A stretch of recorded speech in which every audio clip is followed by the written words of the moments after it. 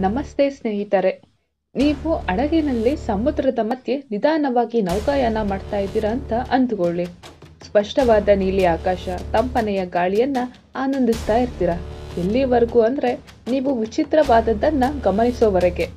ಭವ್ಯವಾದ ನೀರಿನ ಕೆಳಗೆ ಏನೋ ಅಡಗಿದೆ ಅಂತ ಅನ್ಸುತ್ತೆ. ಆಗ ಒಂದು ದೈತ್ಯ ತಿಮಿಂಗ್ಲವು ನೀರಿನಿಂದ ಜಿಗಿಯುತ್ತದೆ. ಆ ಚಿತ್ರಣ ನಿಮ್ಮನ್ನ ಬೆರಗುಗೊಳಿಸುತ್ತೆ. ವಿಸ್ಮಯ ಮತ್ತು ಭಯದ ವಿಚಿತ್ರ ಮಿಶ್ರಣದಿಂದ ನೀವು ಮುಳುಗುತ್ತೀರಿ. ಅಂತಹ ಅವಿಸ್ಮರಣೀಯ ಘಟನೆಯ ಹಿನ್ನೆಲೆಯಲ್ಲಿ ನೀವು ಕೆಲವು ಪ್ರಶ್ನೆಗಳನ್ನು ನೆನಪಿಸಿಕೊಳ್ಬೋದು. ಅಂತಹ ಬೃಹತ್ ಜೀವಿ ನಿಮ್ಮನ್ನ ತಿನ್ನಬಹುದೇ? ಬೃಹತ್ ತಿಮಿಂಗಿಲಾದ ಬಾಯಲ್ಲಿ ಸಿಲುಕಿ ನೀವು ಹೇಗಾದರೂ ಬದುಕಬಹುದೇ? ವೀಕ್ಷಕರೇ, ನಾನು ಈ ಎಲ್ಲ ಪ್ರಶ್ನೆಗಳಿಗೆ ಈ ವಿಡಿಯೋದಲ್ಲಿ ಉತ್ತರಿಸ್ತೇನೆ. ಆದರೆ ಮೊದಲು ತಿಮಿಂಗಿಲ ಬಗ್ಗೆ ತಿಳಿಯೋಣ. ನೀವು ಹಿಂದೆಂದೂ ತಿಮಿಂಗಿಲವನ್ನು ನೋಡಿಲ್ದಿದ್ರೆ ತಿಮಿಂಗಿಲವು ಎಷ್ಟು ದೊಡ್ಡದಾಗಿದೆ ಎಂಬುದನ್ನು ಊಹಿಸೋಕು ಕಷ್ಟವಾಗ್ಬೋದು. ನೀಲಿ ತಿಮಿಂಗಿಲಗಳು ಎಲ್ಲ ಜಾತಿಯ ತಿಮಿಂಗಿಲಗಳಲ್ಲಿ ದೊಡ್ಡದು. ಅವು ಸುಮಾರು ನೂರು ಅಡಿ ಉದ್ದವನ್ನು ತಲುಪಬಹುದು. ಮತ್ತು ಮೂರು ಲಕ್ಷ ಪೌಂಡ್ಗಳಿಗಿಂತ ಅಂದರೆ ಸುಮಾರು ಒಂದು ಲಕ್ಷ ಮೂವತ್ತಾರು ಸಾವಿರ ಕೆಜಿಗಿಂತ ಹೆಚ್ಚು ತೂಕವಿರುತ್ತೆ. ಅದರ ನಾಲಿಗೆ ಒಂದು ಪೂರ್ಣ ಬೆಳೆದ ಆನೆಯಷ್ಟು ತೂಗಬಲ್ಲದು ನೀಲಿ ತಿಮಿಂಗ್ಲದ ದೇಹವು ತುಂಬಾ ದೊಡ್ಡದಾಗಿದೆ. ಅದರೊಳಗೆ ಸುಮಾರು ನೂರು ಜನರು ಇರಬಹುದಾದಷ್ಟು ದೊಡ್ಡದಾಗಿದೆ. ಹಾಗೇನೆ ಸಾಗರದಲ್ಲಿನ ದೊಡ್ಡ ಮರಿಗಳ ಬಗ್ಗೆ ನಾವು ಚಿಂತಿಸಬೇಕಿಲ್ಲ. ಏಕೆಂದರೆ ಅವಕ್ಕೆ ಬೇಟೆಯನ್ನ ತಿನ್ನಲು ಚೂಪಾದ ಹಲ್ಲುಗಳನ್ನ ಹೊಂದಿರೋದಿಲ್ಲ. ತಿಮಿಂಗಿಲಗಳಲ್ಲಿ ತೊಂಬತ್ತು ಜಾತಿಗಳಿವೆ. ಅದರಲ್ಲಿ ಒಂದು ಜಾತಿ ಮಾತ್ರ ಬಹಳ ಅಪಾಯ ಉಂಟು ಮಾಡುತ್ತೆ ಅದು ಮನುಷ್ಯನನ್ನ ಸಂಪೂರ್ಣವಾಗಿ ನುಂಗಬಲ್ಲದು. ಉಳಿದ ಎಂಬತ್ತೊಂಬತ್ತು ಜಾತಿಗಳು ಮನುಷ್ಯನನ್ನ ನುಂಗಲು ಸಾಧ್ಯವಿಲ್ಲ. ಏಕೆಂದ್ರೆ ಅದರ ಅನ್ನನಾಳ ಒಬ್ಬ ಮನುಷ್ಯನನ್ನ ನುಂಗುವಷ್ಟು ದೊಡ್ಡದಾಗಿಲ್ಲ. ವೀಕ್ಷಕರೇ, ಇದನ್ನ ಕೇಳಿ ನಿಮಗೆ ಆಶ್ಚರ್ಯವಾಗ್ಬೋದು.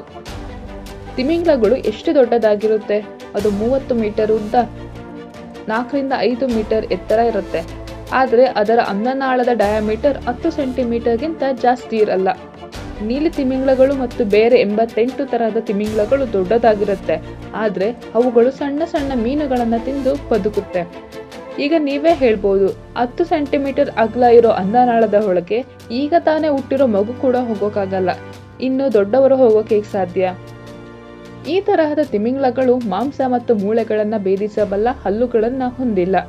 ತಿಮಿಂಗ್ಲಗಳು ಮಾತ್ರವಲ್ಲ ಯಾವುದೇ ಜಲಚರ ಪ್ರಾಣಿಗಳಿಗೆ ಮಾನವರಂತಹ ದೊಡ್ಡ ಸಸ್ತನಿಗಳನ್ನು ನುಂಗಲು ಜೀರ್ಣಿಸಿಕೊಳ್ಳಲು, ಸಣ್ಣ ತುಂಡುಗಳನ್ನಾಗಿ ಮಾಡಲು ಬಲವಾದ, ವಿಶೇಷವಾಗಿ ನಿರ್ಮಿಸಲಾದ ಹಲ್ಲುಗಳು ಬೇಕಾಗುತ್ತೆ.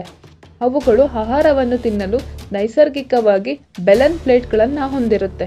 ಅವು ಸಣ್ಣ ಮೀನುಗಳು ಮತ್ತು ಕ್ರಿಲ್ಸ್ನಂತಹ ಬೇಟೆಯನ್ನು ಹಿಡಿಯಲು ವಿಕಸನಗೊಂಡಿರುತ್ತೆ. ಇದು ಎಂಬತ್ತೊಂಬತ್ತು ಜಾತಿಯ ತಿಮಿಂಗಳ ಬಗ್ಗೆ. ವೀಕ್ಷಕರೇ, ಈಗ ಮನುಷ್ಯನನ್ನ ನುಂಗಬಲ್ಲ ಆ ಒಂದು ಜಾತಿಯ ತಿಮಿಂಗಳದ ಬಗ್ಗೆ ತಿಳಿಯೋಣ. ಅದೇ ಸ್ಪರ್ಮ್ ವೇಲ್ ವೀರ್ಯ ತಿಮಿಂಗಳ ಈ ತಿಮಿಂಗಿಲ ದೊಡ್ಡ ದೊಡ್ಡ ಸಸ್ತನಿಗಳನ್ನು ನುಂಗುವ ಸಾಮರ್ಥ್ಯವನ್ನು ಹೊಂದಿದೆ. ದೊಡ್ಡ ಅನ್ನನಾಳ ಹೊಂದಿದೆ. ಸಮುದ್ರದ ಆಳದಲ್ಲಿ ಕಂಡು ಬರುವ ಮೀನು, ಸ್ಕ್ವಿಡ್ ಮೀನು ಮತ್ತು ಆಕ್ಟೋಪಸ್ಗಳನ್ನು ತಿನ್ನುವ ಸಾಮರ್ಥ್ಯ ಹೊಂದಿದೆ. ಈ ತಿಮಿಂಗಿಲಗಳ ಹತ್ರ ಮನುಷ್ಯನನ್ನ ತಿನ್ನಲು ಸಮರ್ಥವಾದ ಹಲ್ಲುಗಳಿವೆ. ವಾಸ್ತವವಾಗಿ ನಲವತ್ತಾರು ಅಡಿ ಉದ್ದದ ಬೃಹತ್ ಸ್ಕ್ವಿಡ್ ಒಮ್ಮೆ ವೀರ್ಯ ತಿಮಿಂಗ್ಲದ ಹೊಟ್ಟೆಯೊಳಗೆ ಕಂಡುಬಂದಿದೆ ದೊಡ್ಡ ಅನ್ನನಾಳದೊಂದಿಗೆ ಅರವತ್ತೈದು ಅಡಿ ಉದ್ದದ ಸ್ಪರ್ಮ್ ವೇಲ್ಗಳು ಮನುಷ್ಯನನ್ನ ನುಂಗಬಹುದು. ಆದರೆ ಅಂತಹ ಪ್ರಕರಣಗಳು ಅಪರೂಪ. ಏಕೆಂದರೆ ಹೆಚ್ಚಿನವರು ಅವರ ಜೀವಿತಾವಧಿಯಲ್ಲಿ ಅವುಗಳನ್ನು ನೋಡಲು ಸಿಗೋದಿಲ್ಲ. ಏಕೆಂದರೆ ಇವು ಸಾಗರದಲ್ಲಿ ಸುಮಾರು ಹತ್ತು ಸಾವಿರ ಅಡಿಗಳಷ್ಟು ಆಳದಲ್ಲಿರುತ್ತೆ. ವೀಕ್ಷಕರೇ, ಈಗ ಒಂದು ವೀರ್ಯ ತಿಮಿಂಗಳ ಒಬ್ಬ ಮನುಷ್ಯನನ್ನು ನುಂಗಿದರೆ ಏನಾಗುತ್ತೆ ಅಂತ ನೋಡೋಣ.